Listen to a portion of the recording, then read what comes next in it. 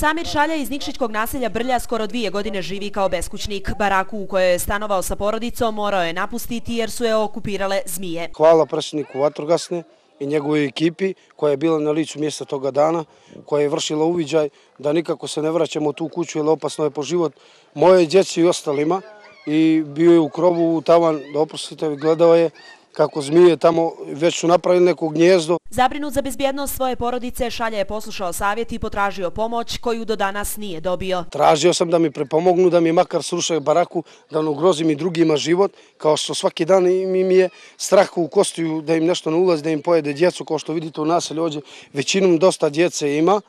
I onda ja sam tražio da mi odozvolje da je, ili da je zapalim. Razgovarao je predsjednik Vatrogasne sa predsjednikom opštine, on je rekao ne može, ne uzme prašak u Podgoricu, neka bači i veli neka se vrati u tu kuću. Stručni nalaz je pokazao da se radilo o zmijama otrovnicama, pa povratka nije bilo. Kako ni o drugom smještaju nije bilo riječi, šalja sa ženom i dvoje djece, živi od milosti drugih i gleda kako propada dom koji je s mukom gradio. Sve što sam imao, ko što se vidite, stekao sam od nikoga, nisam tražio čitav život, ni ja, ni moj pokojni otac i moja familija od države. Zahvalan je komšiji koji mu je na neko vrijeme ustupio baraku, a od prije nekoliko dana spavaju u također ustupljenom autu. Porodicu izdržava od socijalne pomoći, a zabrinut za budućnost svog potomstva u pomoć zove ministarku rada i socijalnog staranja Zoricu Kovačević. Zašto nisu obrazovani? Kako bi moje djete po ovoj sliki ja sutra poveo u školu?